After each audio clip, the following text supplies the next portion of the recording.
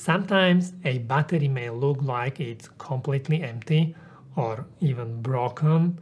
You try to measure voltage between negative and positive pin and your DVM shows zero. So, should you throw this kind of battery away? Maybe not. We are going to have a closer look at the circuit which is built inside of some lithium batteries and how this third pin may be used. Let's do it. I disassembled this battery and there are two chips. Uh, one is just a dual MOSFET transistor, but the second one is an interesting one. It is a battery protection chip. This is the schematic for the chip. Here are the MOSFETs. This is the chip and there are also a few other components. Now, what does it mean when circuit like this is inside of a battery? It means that if you measure 0 volt between negative and positive contact on the package of your battery, it doesn't necessarily mean that the battery itself is bad or damaged. Basically, what is probably happening, the protection circuit detected that your battery voltage is too low and it simply disconnected the battery from the pins which are placed on the battery package. This way it is protecting your battery so you can't discharge it too much. When the discharge protection is active, it also means that when you charge your battery a little bit, uh, you may be able to measure the voltage there again. So a dead appearing battery may be suddenly alive.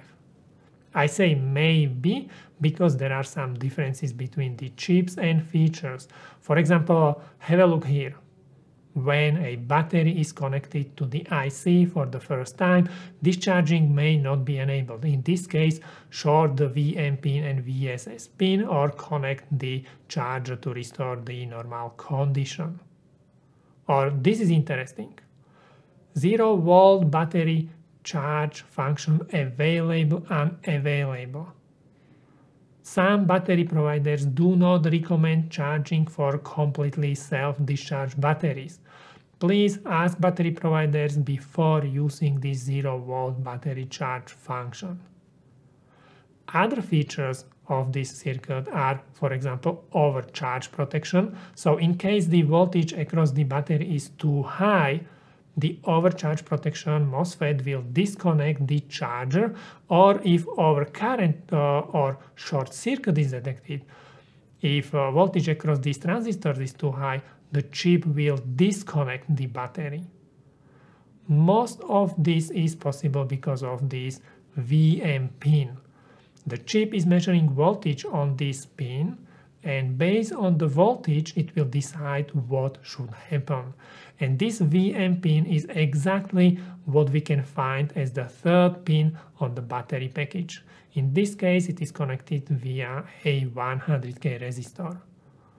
Under this video I attached the datasheet of the chip and MOSFET, so if you like you can have a closer look at how exactly it works. I really hope this will help you to save some batteries. If you like this video, don't forget press like button. If you would like to see my future videos, don't forget to subscribe. Thank you very much for watching and see you next time. Bye.